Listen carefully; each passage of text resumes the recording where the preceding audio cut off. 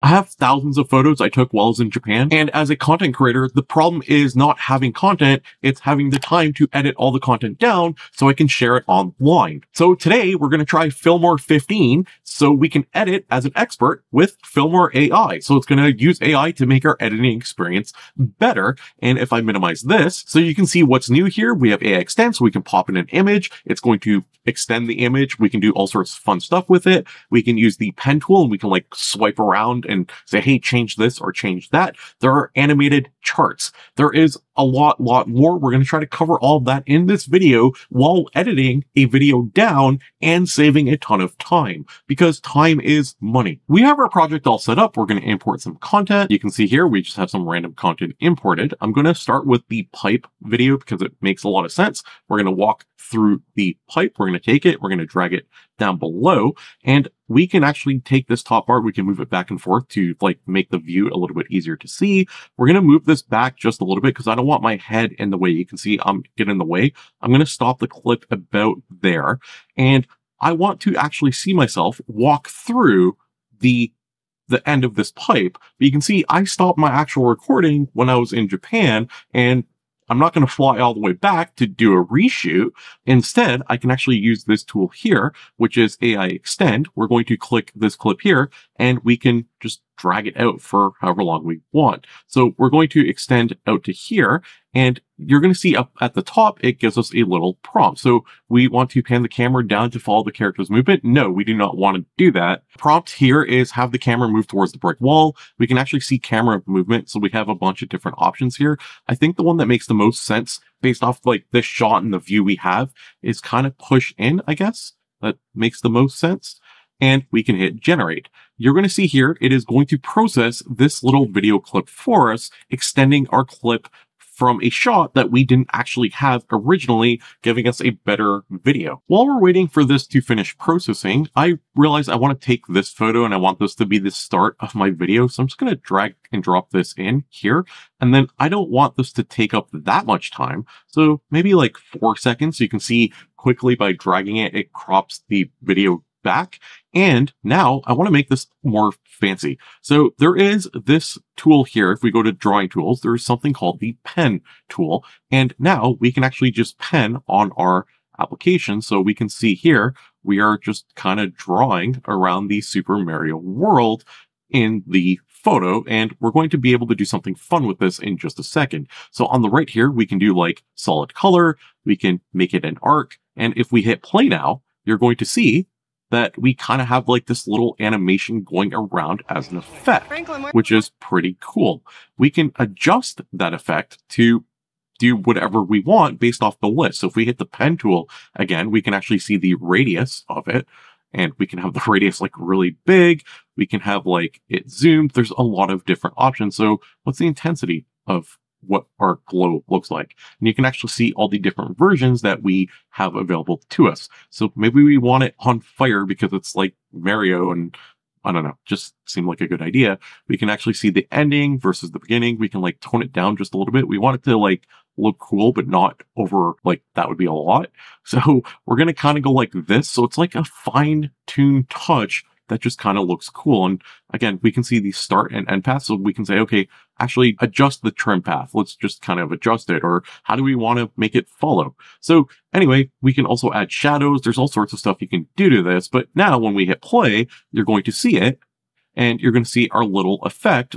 The Mario sign is actually on fire. Franklin, where are we?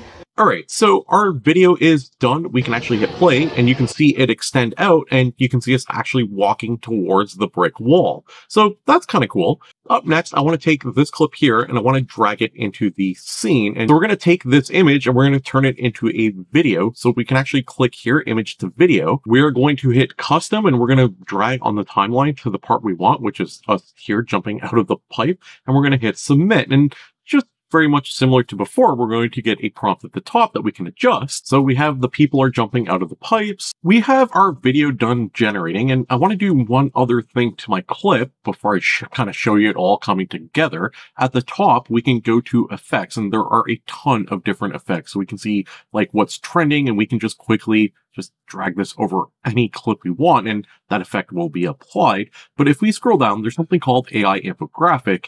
And now we can see a whole bunch of different things. But the one that I want to show you is animated charts. So we can actually click this and we're going to load it. And we're going to be able to make a chart that looks something like this. And these charts are a lot of fun. I love these type of charts. Do a line chart, and that's more along the lines of the one we're going to be making for our little clip here. At the top, we can click data and it's going to load something like this. We can actually upload a CSV file or XLS file right from Excel. All right, on second thought, I think a bar chart actually works a lot better. So I've entered my data here and you can kind of see it all, or I could have imported it by a CSV file. Again, I've my spreadsheet. I can just upload the CSV up here. But if I go to preview now, you're going to see what this looks like and it's pretty cool. This is like millions of copies sold and should really put that in somewhere, maybe the header. So on the right, there is a header and I can actually just click here and type Super Mario copies sold millions. And you can kind of see what that looks like. And it's starting to come together. We can click animation here and we can do like a little bounce effect and you can see what that looks like. Or maybe we want to do a fade or a slide. Let's see what the slide looks like. Uh, the slide's not bad. I like the grow. I think the grow looks the best here. And then we can also make them go all together all at once, or we can be like, hey, one at a time. So it gives you a lot of options for the animations that you're creating. And then when we're ready to go, we can actually hit add to timeline and it's going to build our little chart that we just made and of course, add it to our timeline. So this is what our clip looks like so far. We can see the beginning. We have our little effect that goes around the Nintendo world. We have us walking through the pipe. It's Dana and I are walking. She does her little doo-doo-doo. And then the end of the pipe scene cuts there before I kind of walk in front and ruin the entire shot. So instead of flying back, like I mentioned, we can just use AI extend. We're extending forward and we can see what that looks like. And now we're actually walking to the end where the brick is. And now we're flipping to us coming out of the pipe and you can see boop and it becomes both of us and or I become both. And now we can actually see the Mario copy sold with this really cool looking animation that we can see here that we just created. And this is phenomenal. Now I want to do one other thing. I want to add some like transitions and some little tweaks throughout. And they have video effects like I showed you before, and they have a whole trending section that we can just jump around and play with. So we can see what this looks like. And we can just take any of these. So like say we want this shockwave on it, we can just drag it over top of our video and then we can hit play and we're going to see the shockwave and that's kind of cool. Or we can just hit control Z and we've just undone it. We can also do like this one here, which is going to give us like a whole fire effect. I, again, there's a lot of different options. So for our still image, I'm going to take this zoom effect. We're going to drag that one over top because I think that will look pretty cool. Our pipe is already really cool as is, so I'm not going to modify that at all. But here, this little clip, I'm actually going to take this blue explosion and put it over top. I think that could be kind of fun. And you're going to see, we're going to go from here to boom, it's us coming out of the pipe. All right. So uh, that is kind of cool. Now we just need transitions throughout. So let's go to the transition tab here. And again, they have so many that are trending. We're going to try the glitch one in between and let's see what that looks like. That's cool. All right, I like that. That's that's cool. It's like you're glitching out of the pipe. It's kind of fun. And now we need one for the start here as we're walking into the world. So maybe like this one here, and we can just drag and drop and we can try any of these. And you can see we took content from Japan and created it down into a video really quickly. And you can see Franklin, the white effect. Boom. That looks awesome. I love it. All right. So we need to add some titles. I like captions, especially for YouTube content. If you're going to make it short, captions are really important. And we can actually just hit generate and it's going to do an entire text to speech. So if I was talking throughout this entire video, it would literally put up all the different words that I need for my video on the screen automatically. Now you can actually see here, Franklin, where are we?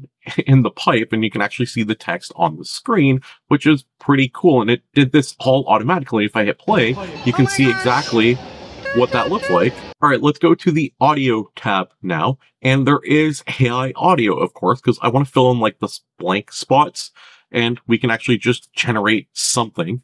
So we can put in a prompt and we just have like a retro video game. I chose hip hop and playful. We can even choose the exact time we want our little audio clip to be. So I'm going to extend it a little longer just to be on the safe side. We're going to hit generate and we're going to get an entire background song, background track for our little video that we are making. I've generated three of these. I just want to have some options. We have this one.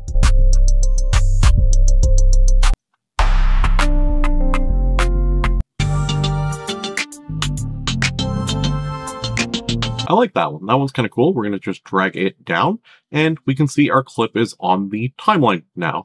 We can take it, we can drag it back, and we now have an entire clip that we can actually share on Instagram Reels or TikTok or YouTube Shorts. Franklin, where are we? In the pipe. Oh my gosh!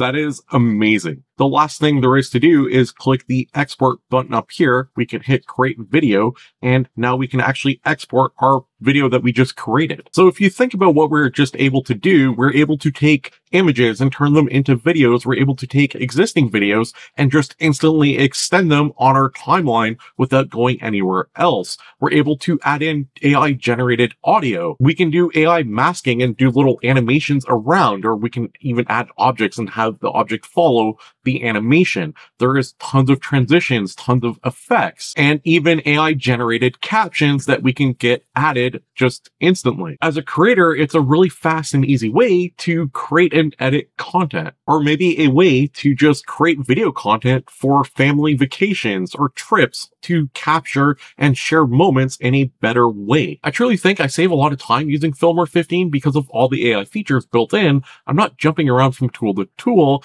and it makes it really easy. The fact that I can quickly extend a clip, have it start working on that, and then I can start doing other things, it makes the entire editing process substantially faster. I really like the one app workflow and truly my favorite is still that chart. I don't know about you guys, but I love watching these little charts. I just find them really oddly satisfying. As always, I'll have a link in the description below. Check it out. Uh, it will save you time and it's just kind of fun and easy to use. Let me know what your thoughts are in the comments below. Don't forget to subscribe. I cover AI on a daily basis, mostly. And thanks for watching. I'll see you tomorrow with another video. Oh, like the video. Tells algorithm, hey, I like this type of content. I want to see more of it in my feed. See you tomorrow.